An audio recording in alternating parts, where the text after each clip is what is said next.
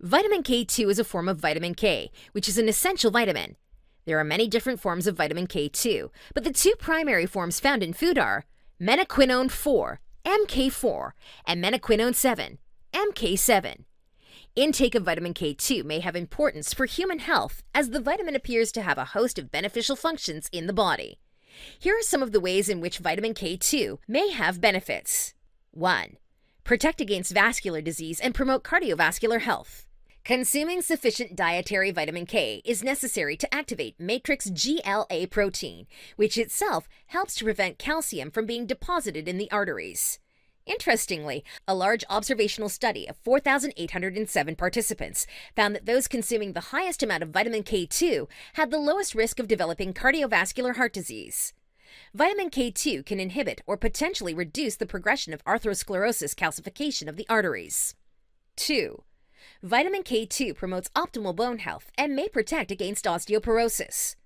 One of the major benefits of vitamin K2 is that it activates osteocalcin, which is a protein hormone made by the bones. Osteocalcin depends on vitamin K2 for activation via carboxylation. Studies show that K2 supplementation leads to higher levels of osteocalcin in the blood. Osteocalcin plays a vital role in strengthening bones, and one of its primary functions is to bind calcium and to take it to the bone. 3. An important cofactor for calcium and vitamin D. Vitamin D is a fat soluble vitamin that affects every cell within our body, and calcium is a vital mineral for skeletal health, among other things. However, these two nutrients require vitamin K to function as they should in the body. Calcium is important for strengthening bones and overall skeletal health. That said, it can only have these benefits if it goes to the right place, and this is where vitamin K comes in. Studies have shown that vitamin K2 prevents calcium from being deposited on the walls of blood vessels. It also directs calcium to the place that needs it the most bone. A randomized control trial featuring 78 women over the age of 60 found that the combination of vitamin K, D, and calcium improved bone mineral density over six months.